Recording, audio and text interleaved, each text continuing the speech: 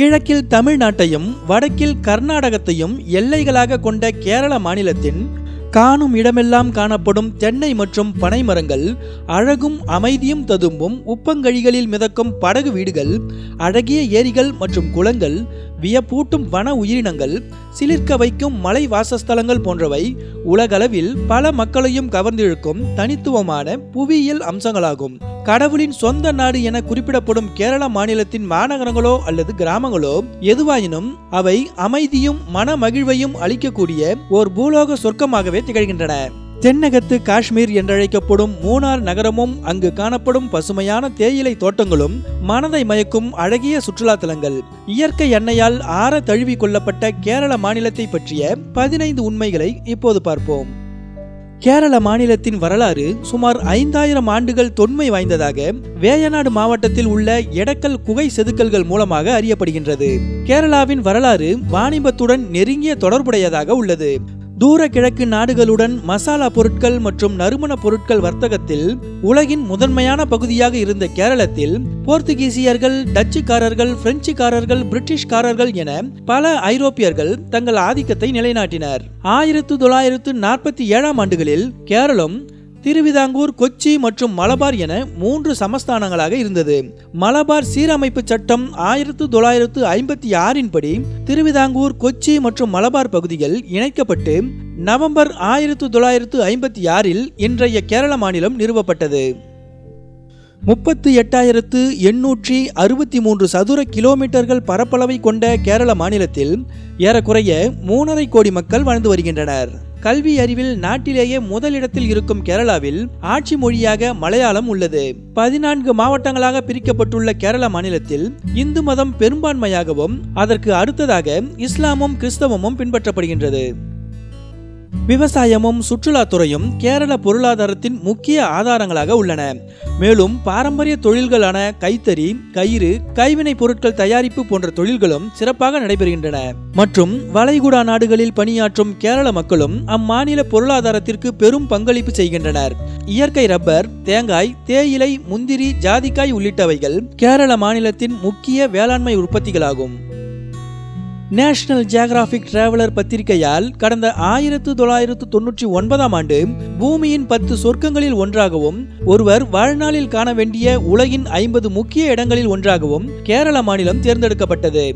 பசுமையான வனங்கள் ஓங்கி உயர்ந்து நிற்கும் தென்னை மரங்கள் அழகிய நீர்நிலைகள் உள்ளிட்ட இயற்கை எழில்களால் சூழப்பட்டுள்ள கேரள மாநிலத்தை கண்டுகளிக்க ஆண்டுதோறும் பத்து மில்லியன் சுற்றுலா பயணிகள் வந்து செல்கின்றனர்.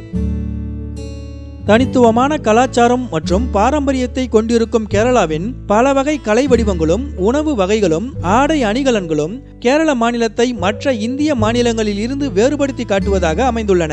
கதகளி கூடியாட்டம் மோகினியாட்டம் உள்ளிட்ட தனித்துவமான நடன வடிவங்களும் களரி வர்மக்கலை போன்ற தற்காப்பு கலைகளும் கேரள மாநிலத்தை பூர்வீகமாக கொண்டவையாகும். ஓணம் பண்டிகை விஷு திருச்சூர் பூரம் திருவிழா சோட்டானிக்கரை பகவதி அம்மன் கோவில் விழா போன்றவை கேரளாவின் முக்கிய திருவிழாக்களாகும். முண்டு என்பது கேரளாவின் பாரம்பரிய உடையாகும். ஆண்கள் மற்றும் பெண்கள் என இரு பாலரும் இடுப்பிலிருந்து கால் வரை அணியும் இந்த உடையானது வெள்ளை நிறத்தில் பொன்னிற ஓரங்களுடன் இருக்கும். பார்ப்பதற்கு வேட்டியை ஒத்ததாக இருக்கும். மேலாடையானது பாலினம் மற்றும் வயது அடிப்படையில் மாறுபடுகின்றது. மற்றும் லுங்கியையும் சாதாரண உடையாக ஆண்கள் மற்றும் பெண்கள் அணிந்து கொள்கின்றனர். கேரளாவில் கள்ளி முண்டு என அழைக்கப்படும் லுங்கிகள் அங்குள்ளவர்களால் வீட்டில் இருக்கும் போதும் உறங்கும் போதும் அல்லது வேலை செய்யும் போதும் அணிந்து கொள்ளப்படுகின்றது. பழமையான மருத்துவ முறையான ஆயுர்வேதத்தை அர்ப்பணிப்புடன் செய்து வரும் மாநிலங்களில் கேரளா மட்டுமே முதன்மையாக உள்ளது. கேரளாவின் மிதமான தட்பவெட்ப நிலை மூலிகை மற்றும் மருத்துவ குணம் கொண்ட செடிகள் நிறைந்த காடுகள் ஈரமான காலநிலை ஆகியவற்றால் ஆயுர்வேத மருத்துவ சிகிச்சைக்கு உகந்த மாநிலமாக கேரளா திகழ்கின்றது. இந்த அற்புத சிகிச்சையின் பலன்களை பெற இந்தியா மட்டுமின்றி பல்வேறு வெளிநாட்டவர்களும் கேரள மாநிலத்தில் குவிகின்றனர். கேரளாவின் அடையாளங்களாக உள்ளன தென்னை மரங்களும் யானைகளும். உலகளவில் தென்னை மரங்கள் மிகுந்த மாநிலமாக விளங்குகிறது கேரளா. இவற்றின் மூலமாக தேங்காய் இளநீர் நீரா எனப்படும் பானம் கல் உள்ளிட்டவைகள் உற்பத்தி செய்யப்படுகின்றன. கேரள மாநிலத்தின் மேற்கு தொடர்ச்சி பகுதிகளில் அதிக அளவில் யானைகள் வசிக்கின்றன. கேரளாவில் வளர்ப்பு யானைகள் மட்டுமே சுமார் எழுநூறுக்கும் அதிகமானவை கோவில்களுக்கும் தனி நபர்களுக்கும் சொந்தமானதாக உள்ளன. அவை கேரளாவின் கலாச்சார நிகழ்ச்சிகள் மத விழாக்கள் உள்ளிட்டவைகளுக்கு பயன்படுத்தப்படுகின்றன. கேரள அரசின் சின்னத்திலும் யானைகள் இடம்பெற்றுள்ளன என்பது குறிப்பிடத்தக்கது. கேரள மாநிலம் பத்தனம் திட்டாவிற்கு அருகே மேற்கு தொடர்ச்சி மலையில் அமைந்துள்ளது சபரிமலை ஐயப்பன் கோவில்.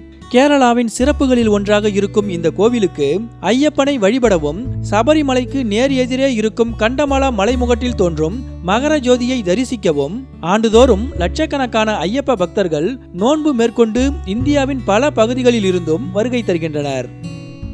இந்தியாவின் முதல் தேவாலயமும் முதல் மசூதியும் கேரள மாநிலத்தில் தான் நிறுவப்பட்டன. திருச்சூர் மாவட்டத்தில் உள்ள பாலையூரில் அமைந்துள்ள புனித தாமஸ் சிரோ மலபார் கத்தோலிக்க தேவாலயம்தான் இந்தியாவின் முதல் தேவாலயமாகும். இது இயேசு கிறிஸ்துவின் பனிரெண்டு சீடர்களில் ஒருவரான புனித தாமஸ் என்பவரால் கிபி ஐம்பத்தி இரண்டில் கட்டப்பட்டதாக சொல்லப்படுகின்றது. மற்றும் கொடுங்கலூரில் உள்ள சேரமான் ஜுமா மசூதி இந்தியாவில் கட்டப்பட்ட முதல் மசூதியாகும். இந்த மசூதியானது கிபி அறுநூற்றி இருபத்தி ஒன்பதில் மாலிக் தீனார் என்பவரால் கட்டப்பட்டது. கேரளாவின் பாலக்காடு மாவட்டத்தில் உள்ள பரம்பிக்குளம் வன உயிரியல் பூங்காவில் அமைந்துள்ளது உலகின் தொன்மையான தேக்கு மரம். கன்னிமரா என்று அழைக்கப்படும் இந்த மரமானது சுமார் நானூறு ஆண்டுகள் பழமை வாய்ந்ததாக கருதப்படுகின்றது. சுமார் நூற்றி ஐம்பத்தி ஐந்து அடி உயரம் கொண்ட இந்த மரத்தின் அடிப்பகுதி ஏறக்குறைய இருபத்து ஓரடி சுற்றளவை கொண்டுள்ளது.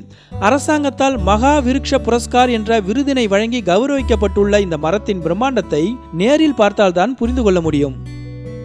இந்தியாவின் முதல் தகவல் தொழில்நுட்ப பூங்கா கேரளா மாநிலம் திருவனந்தபுரத்தில் உள்ள டெக்னோ பார்க் ஆகும்.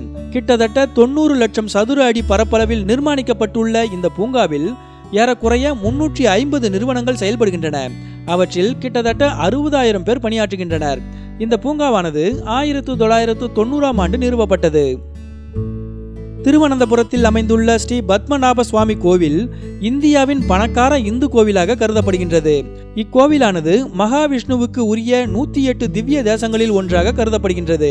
இந்த கோவிலில் ஆறு பாதாள அறைகள் உள்ளன. பல நூற்றாண்டுகளாக திறக்கப்படாமல் இருந்த இந்த பாதாள அறைகள் கடந்த இரண்டாயிரத்து பதினொன்றாம் ஆண்டு திறக்கப்பட்டு ஆய்வு செய்யப்பட்டன. அப்போது அவைகளில் தங்கத்தாலான விஷ்ணு சிலை விலை மதிப்பற்ற வைரங்கள் தூய தங்கத்தால் ஆன ஏராளமான நகைகள் வைடூரியங்கள் தங்க காசுகள் நிரம்பிய பைகள் அரிய வகை நவரத்தின கற்கள் போன்றவை கண்டுபிடிக்கப்பட்டன. இவற்றின் மதிப்பு ஒரு லட்சம் கோடிகளுக்கும் மேல் இருக்கலாம் என நம்பப்படுகின்றது. இந்திய மாநிலங்களில் ஆண்டுதோறும் பருவமழையை முதன் முதலில் பெறக்கூடிய மாநிலம் கேரளாவே ஆகும். இங்கு தென்மேற்கு பருவமழையானது ஜூன் முதல் வாரத்திலேயே தொடங்கிவிடுகின்றது கேரளாவின் குருவாயூரில் அமைந்துள்ள ஸ்ரீகிருஷ்ணா கோவிலுக்கு உலகம் முழுவதிலும் இருந்து ஆயிரக்கணக்கான பக்தர்கள் வந்து வழிபட்டு செல்கின்றனர். குருவாயூரப்பன் கோவில் எனவும் அழைக்கப்படும் இந்த கோவிலானது இந்துக்களின் முக்கிய வழிபாட்டு தலமாகவும் பூலோக வைகுண்டமாகவும் அறியப்படுகின்றது. இந்த தகவல் உங்களுக்கு பிடிச்சிருந்தா லைக் ஷேர் கமெண்ட் பண்ணுங்க. மேலும் இது போன்ற சுவாரஸ்ய தகவல்களை உடனுக்குடன் தெரிந்து கொள்ள எஸ்எஸ் டிவி தமிழ் சேனலுக்கு சப்ஸ்கிரைப் பண்ணுங்க.